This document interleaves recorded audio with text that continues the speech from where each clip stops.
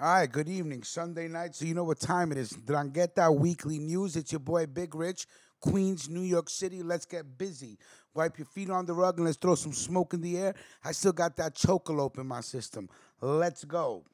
Now, tonight you're getting a two for one because uh, Shattered got me some articles, but they're kind of short. So he got me two. So salute to you, sir. January 17, coming out of Turin. Five people were indicted Friday in a probe into the presence of the Calabria based Drangheta Mafia in the northwestern region, in the northwest region of Val di Aosta. The trial will seek former regional councilor Marco Sorbara, former Aosta municipal councilor Nicola Prettico, former St. Pierre councilor Monica Carcea, restaurateur Antonio Raso, and a former employee of the local casino, Alessandro Giachino. The trial starts in Aosta on March 11th.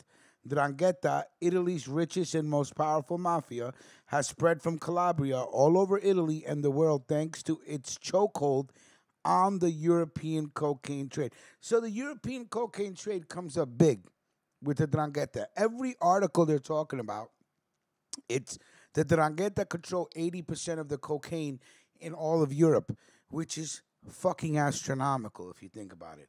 Okay, so that was the first article. I guess five indicted in the Drangheta Aosta case, and they're going to be, uh, the trial will start March 11th. I'm assuming because of affiliation with the Ndrangheta Mafia, right?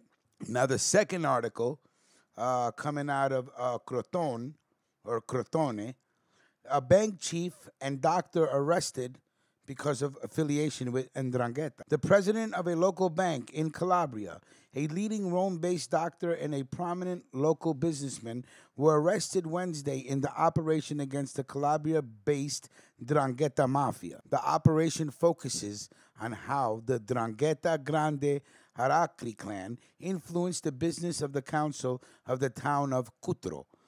Those arrested are Ottavio Rizzuto, president of Banca di Credito and former manager from 2007 to 2015 of the Cutro's Council Technical Area.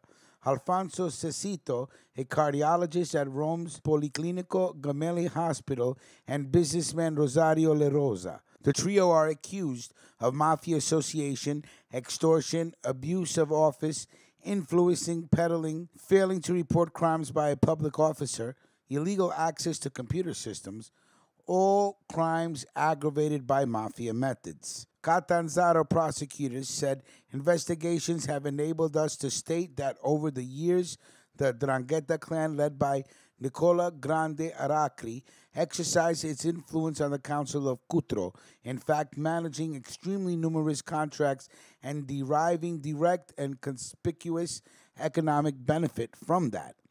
It said Rizzuto, the bank chief and former council manager, was a central figure in, in this criminal metastasis. It said police carried out several raids of the local banks and council offices. The probe enabled prosecutors to shed light on how Rizzuto favored and helped the Drangheta clan in getting hold of council contracts. It said La Rose, the businessman, was another key figure. Cecito, the cardiologist, also exerted considerable influence in the case, the investigation said. All right, so we got two up to date Drangheta articles. Thanks to Shattered. Salute to you, sir. Thank you for finding it. And uh, we will be back tomorrow live in the morning. Two year anniversary of the morning show. All right. So if you guys are, are, if you guys get down with us with waking up with Ruckus, we will be live tomorrow morning at nine o'clock. All right. Salute, and as usual, Tonight's video was sponsored by Justice Tech Pros. If you guys haven't checked them out yet, please do subscribe to them.